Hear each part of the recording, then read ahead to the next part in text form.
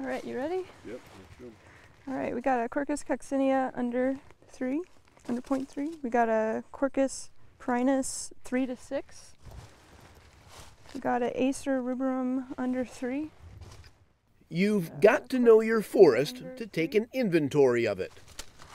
We got a cute Quercus alba under. And these U.S. Forest Service technicians know what lives in this oak dominated hardwood ecosystem.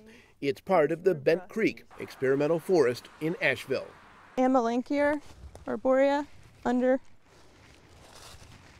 We have permanent research plots scattered throughout the burn unit. And so prior to the burn and then again after the burn, our research technicians come in and do a sample of the overstory as well as the understory or regeneration layer. So you're going in and, and, and counting what's on the ground in that area? Yes, within a certain area, we are getting information on the species as well as how they respond in terms of height growth to the treatment. Uh, we got two more Quercus coccinea under. The U.S. Forest Service is experimenting with the reintroduction of a totally natural technique to help manage the oak forests of the southern Appalachian Mountains. Mother Nature used it extensively before and during the early European settlement of the area. It's called fire.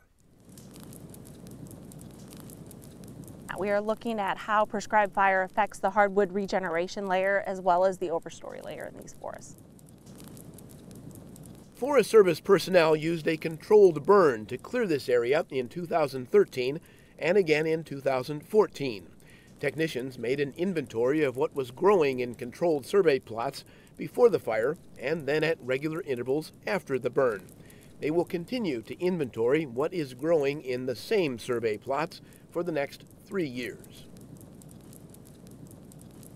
We are looking at how the oaks respond to the fire, yes. Now, if you look over here, is this is this a sign of success? It looks like there are things well, it's way too early to say if it if fire has um, benefited oak right now. This is a red oak. Um, this has been top killed by fire, so um, trees are susceptible to mortality following fire. But um, all the hardwood tree species in this forest ecosystem sprout back.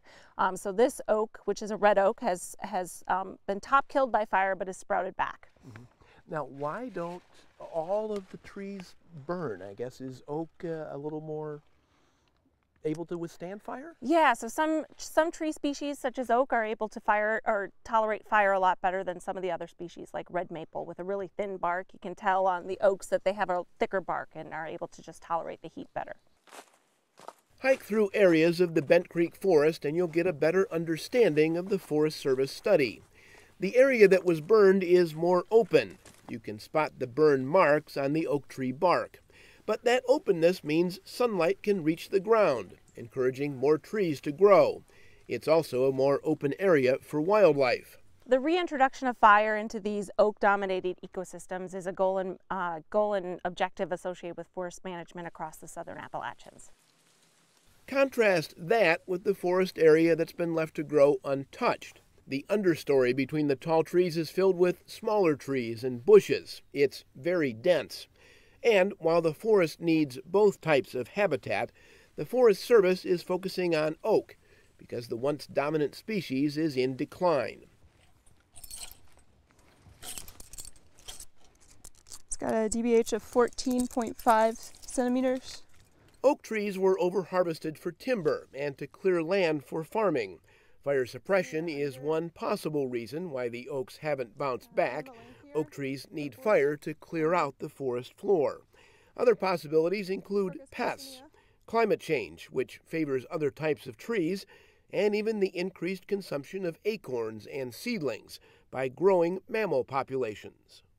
In these oak dominated systems, we're often managing for the oak component. So we're trying to sustain that oak component across the landscape and over time. Um, we have a, variety of tools um, to accomplish our management objectives. We can use prescribed fire. We can uh, use timber harvesting and um, herbicide. Um, so we have a variety of tools that we can use to accomplish those, um, those specific management objectives.